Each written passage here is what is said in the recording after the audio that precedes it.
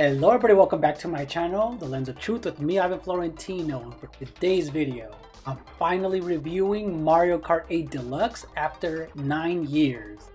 You heard that right, it's been almost a decade since this game released. But before we get started, if you're new to my channel, please hit that like button, ring the bell, and leave a comment. So, let's get to it.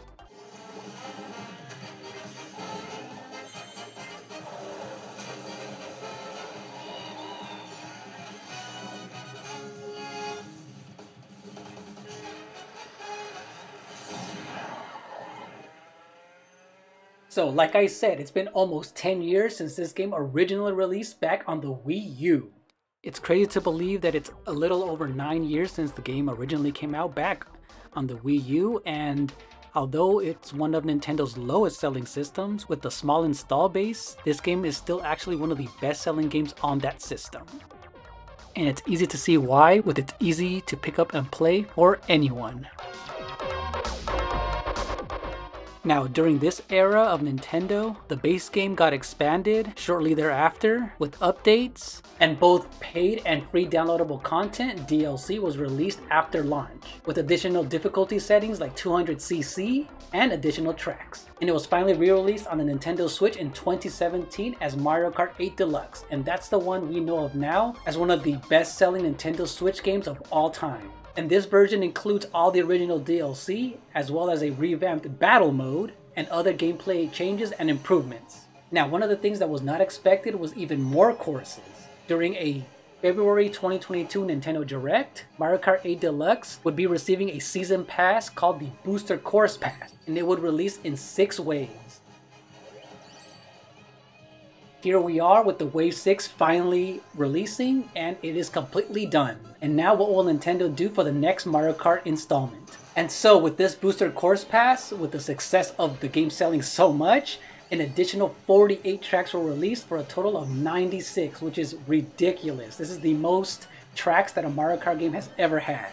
It's also some of the best online gameplay as well. And it's a great business move from Nintendo that a lot of Mario Kart Tour tracks were repurposed and added that upscale to the game when they were added into the waves. Now some of the criticisms was that some of the Mario Kart Tour tracks were very low poly and not as great as the base game, but overall the amount of quality and quantity and variety makes this one of the best Mario Kart games in terms of selection of courses.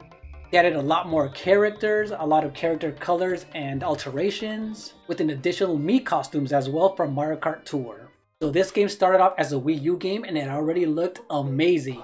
It ran at 720p, but when it was transferred to the Nintendo Switch, it ran at 1080p at 60 frames per second. And it looks really, really good. Nintendo knows how to do their hardware really well, and this game is very next gen with high resolution textures and it runs perfectly.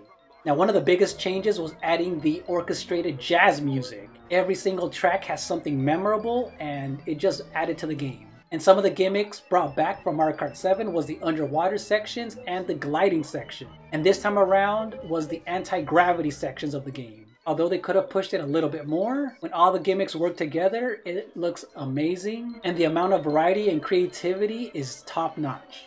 So I've added hundreds of hours into this game, all the way from the Wii U era and now on the Switch. And I am glad it's finally over because we're excited to see what Nintendo does next for the future installment of this series. And speaking of the last wave, number 6, this is probably one of the best waves out of the entire series. But I do want to give a shout out to all of the cool characters that made a return and all of the brand new characters that people wanted. We have a return of Diddy Kong, Funky Kong, Birdo, Petey Piranha, Wiggler, brand new Peachette, Pauline, and an N64 scrapped character from the beta version back in the day, Kamek as well.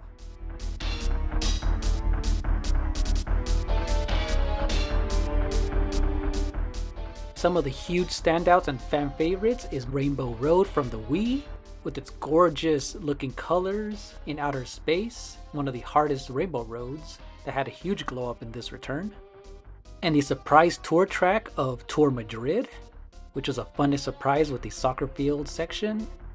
And one of my favorites from Mario Kart Double Dash on the GameCube is DK Mountain.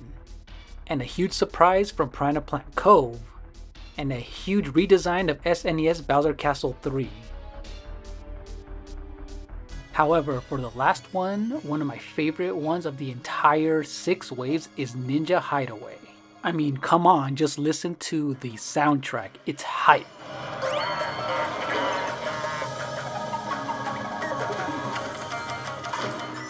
It's one of the few Wave 6 tracks that feels like it was part of the base game with its beautiful colors and just the great theming and creativity when it comes to the multi-layered track design.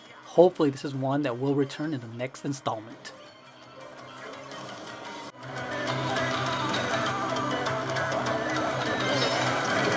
So let me know down in the comment section below what you guys think of Mario Kart 8 Deluxe and have you been playing it since for almost 9 years?